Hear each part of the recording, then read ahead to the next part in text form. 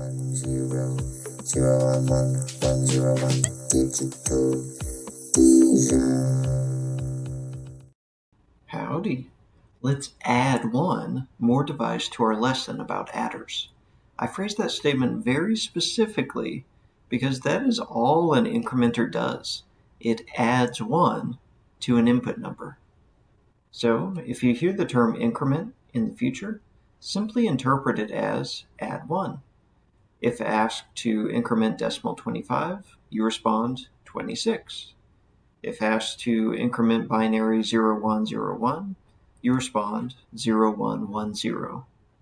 Technically, increment means to increase by a fixed value, but most often that fixed value is 1.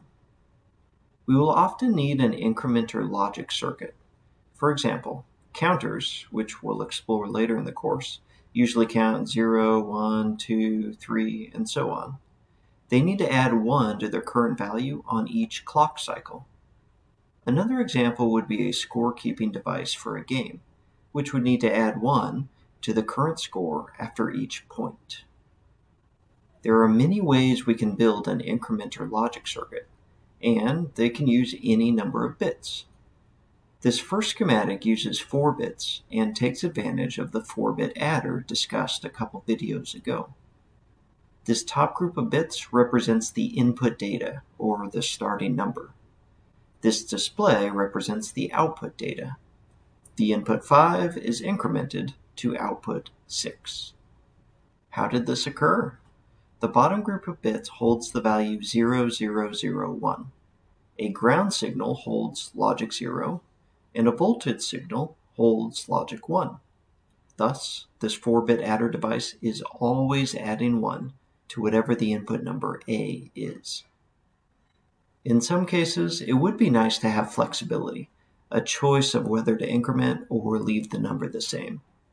This can easily be done with a switch connected to B0. When switched low, the circuit adds 0000 or no change. When switch is high, the circuit adds 0001 or increment. You can see in this schematic that the input of 5 is not being changed, so the output is a 5. This approach works, but it's not particularly efficient. There are a large number of gates packed into this adder device. So let's try to identify a more efficient approach by reflecting on what an incrementer is doing through a numerical example.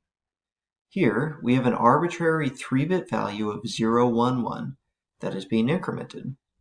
This 1 plus 1 yields a sum of 0 with a carry out of 1. In the next column, the carry in of 1 is added to the given 1, again yielding a sum of 0 with a carry of 1. In the last column, the carry in of 1 is added to the given 0, which yields a sum of 1 with a carry of 0.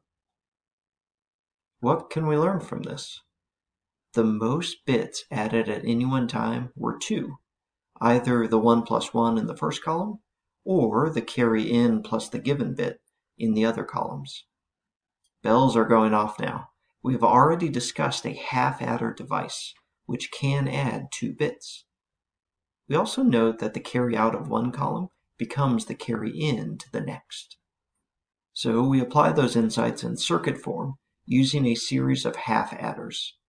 Here, the least significant bit is being computed by this top half adder.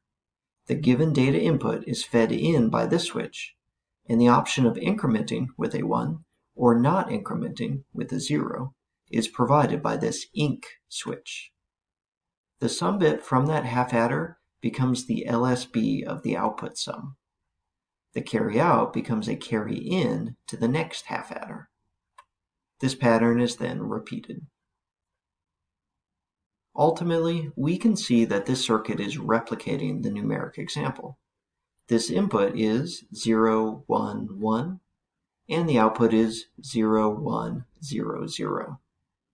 This pattern of linked half adders can be extended to any number of bits. I show just three here because it fits nicely on the slide, and also because you'll probably be tasked with building a 4-bit incrementer. I can't give you everything. On this final slide are examples of a 4-bit incrementer device.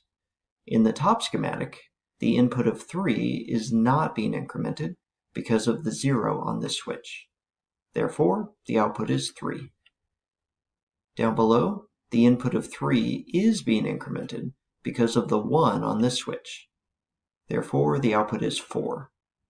The incrementer is a simple circuit, but it performs an important function that will be used frequently.